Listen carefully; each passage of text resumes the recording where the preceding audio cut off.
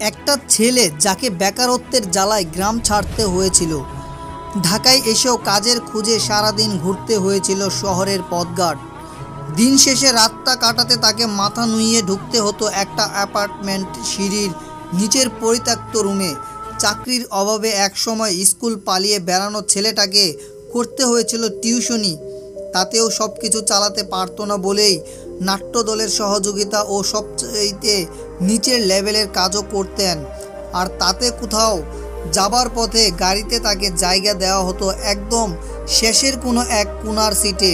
সেই ছেলেটাই আজকে দেশ সেরা নাট্য অভিনেতা, যাকে একটা নাটকে পেতে হলে এখন পরিচালকদের ঘুরতে হয় মাসের পর মাস। হ্যাঁ আমরা বলছি মুশারফ করিম সম্পর্কে তার অজানা তথ্য, তাই পুরো ভিডিওটি দেখার জন্য আমন্ত্রণ রইল। ইতিহাসের খুব কম অভিনেতাই পারেন অভিনয়ের মাধ্যমে ইতিহাসের পাতায় স্মরণীয় হয়ে থাকতে। অভিনয় যে কেউ চাইলেই করতে পারেন না। তার জন্য প্রয়োজন সৃষ্টিকর্তার দয়া, কঠোর পরিশ্রম, মেধা ও অধ্যবসায়। আমরা আজকে জানব অভিনয়ে যে সকল গুণে গুণোন্নতি।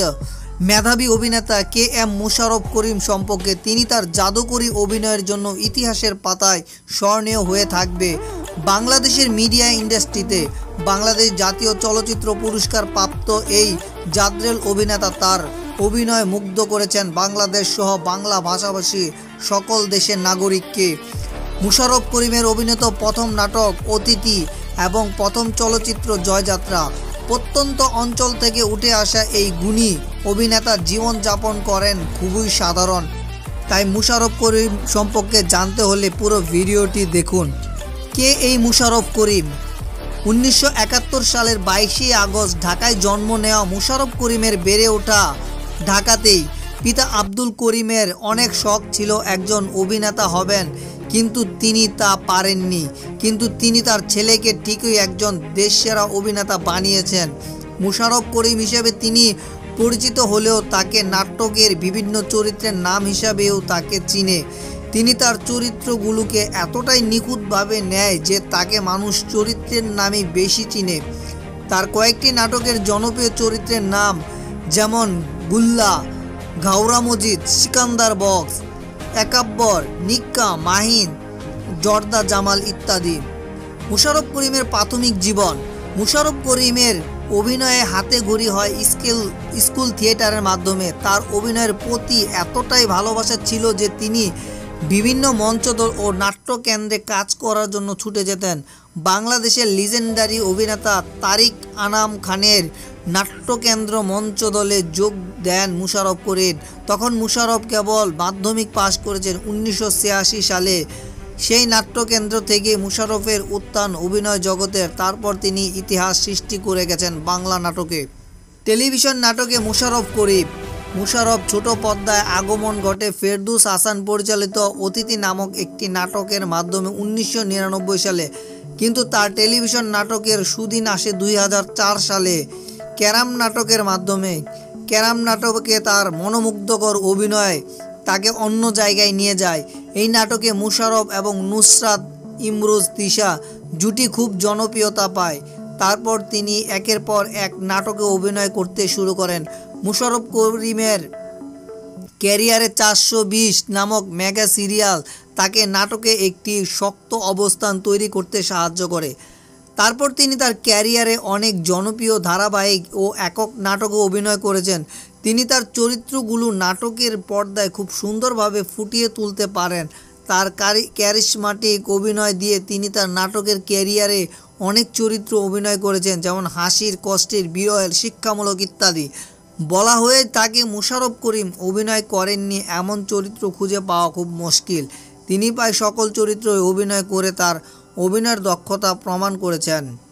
মুশারফ করিমের উল্লেখযোগ্য কিছু নাটকের নাম, অতিথি, মির্জাফর, সেই রকম ঘুষখোর, জামাই শ্বশুর, বাটপার, হাবিলদার, হাতেম, ঝুলন্ত বাবুরা, বউয়ের জ্বালা, আকিজ, আমি মফিজ হতে চাই, প্রায় rockstar Hitler heater, to let, অভিনেতা, behind the tab, loving Barishal, বৌচুর, Sikandar বক, সত্যবালক, ফাউল, মানিব্যাগ, ছাইয়া ছাইয়া, জর্দা জামাল, সিটি লাইফ, তারা খান, প্যারা, বুকা কুকা এফ এন এফ বিবাহ হবে চেটামঘর ঝামেলা আনলিমিটেড, চলিতেছে সার্কাস, তিনি আসবেন হার কিপটে ভবের হাট, হাউসফুল, মাইক চারশুবি সাকিন সারি সুরি মুফিজ কট, লড়াই, মামা ভাগ্নে। চলচ্চিত্রে মুশারফ করিম। মুশারফ করিম তার প্রথম সিনেমায় একজন ময়রার চরিত্রে অভিনয় করেন। জয়যাত্রা সিনেমায় তকির আহমেদ পরিচালিত সিনেমাটি আমজাদ হোসেনের একটি উপন্যাস অবলম্বে তৈরি করা হয়। তার সৌভাগ্য যে তিনি অনেক গুণী নির্মাতাদের সাথে কাজ করতে পেরেছেন। তিনি দারুচিনি দ্বীপ সিনেমায় অভিনয় করেন, যেটি বিখ্যাত লেখক, নাট্যকার, চলচ্চিত্র নির্মাতা হুমায়ুন আহমেদ রচিত আন্তর্জাতিক খ্যাতিসম্পন্ন পরিচালক মোস্তফা সারোয়ার ফারুক পরিচালিত। টেলিভিশন ও থার্ড পার্সন সিঙ্গলার নাম্বার সিনেমায় অভিনয় করে সুনাম করান মুশারফ করিম। তাছাড়া তিনি আরও কয়েকটি সিনেমায় অভিনয় করেছেন। সর্বশেষ তিনি প্রশংসা করান কলকাতার বার্তা বসুর সিনেমা ডিকশনারিতে অভিনয় করে। সেই সিনেমার জন্য তিনি কলকাতায় অনেক প্রশংসা পান। তিনি নিয়মিত সিনেমায় অভিনয় করেন না, কেবল ভালো গল্প ও ভালো প্রোডাকশন পেলেই কাজ করেন। তার চরিত্রের সাথে যায় না, এমন চরিত্রে তিনি অভিনয় করেন না। বর্তমান তিনি বেছে বেছে কাজ করতে, করে থাকেন। মুশারফ করিমের পারিবারিক জীবন। মুশারফ করিম পরিবারে তার বাবা মা ছাড়াও তার স্ত্রী ও এক সন্তান আছে। রুবেনা রেজা জুইকে সাতই অক্টোবর দুই হাজার চার সালে ভালোবেসে বিয়ে করেন মুশারফ করিম। মুশারফের স্ত্রী জুয়ো একজন নিয়মিত নাটকের মুখ। তারা দুজন একসাথে অভিনয় করেছেন অনেক নাটকে। এই সুখী দম্পতি রুবেন রায়ান করিম নামে একটি ছেলে সন্তান রয়েছে। এই এক ছেলেকে নিয়ে তারা তিনজনের সংসার। তাদের ফ্যামিলি একটি আদর্শিক ফ্যামিলি মুশারফ করিমের মোট সম্পদ। মুশারফ করিম বাংলাদেশের শীর্ষ ধনী সেলিব্রিটিদের মধ্যে একজন। তার মোট সম্পদের পরিমাণ কত তা সঠিকভাবে না জানা গেলেও তিনি অনেক সম্পদশালী ধারণা করায়। তিনি পাঁচশো প্লাসটির, পাঁচশো প্লাস এর বেশি নাটক, চলচ্চিত্র, সিরিয়ালে অভিনয় করেছেন। তিনি বিভিন্ন বিজ্ঞাপনে অভিনয় করে প্রচুর টাকা আয় করে থাকেন। মুশারফ করিমের পুরস্কার ও সম্মাননা।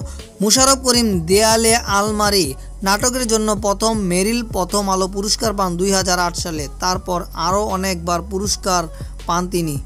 তাছাড়া মুশারফ করিম উনিশতম পর্তুগালের আভাস্কা চলচ্চিত্র উৎসব ও পুরস্কার পান।